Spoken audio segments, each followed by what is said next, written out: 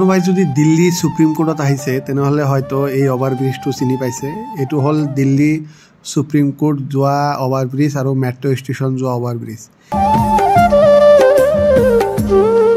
এইখন অভাৰব্ৰিজেৰে আপোনালোকে যাব পাৰিব দিল্লী সুপ্ৰিম কোৰ্ট আৰু Delhi supreme court metro' station চাই থাকিব ৰফিবলক পাৰিলে শ্বেয়াৰ কৰিব ফ্ল' কৰিব আৰু কমেণ্ট কৰিব আৰু ৰফিবলক আগবাঢ়ি যোৱাৰ কাৰণে সহায় কৰিব।